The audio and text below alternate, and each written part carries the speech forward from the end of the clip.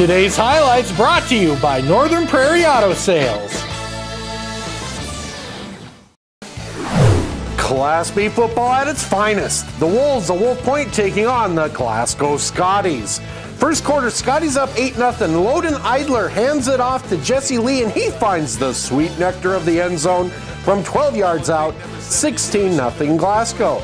Still in the first, Idler with the fake handoff to Tatum Hanson, keeps it himself and marches into the end zone. Another 12 yard run. Scotties lead 48 to nothing at the half. Third quarter, Wolves get on the board. Austin Wilson goes back to pass, pulls it down, and he's off to the races, folks. A 61 yard touchdown scamper for Wilson. 48 6 Glasgow at that point, and that will be the ball game. Scotties hold off the Wolves by a score of 48 6.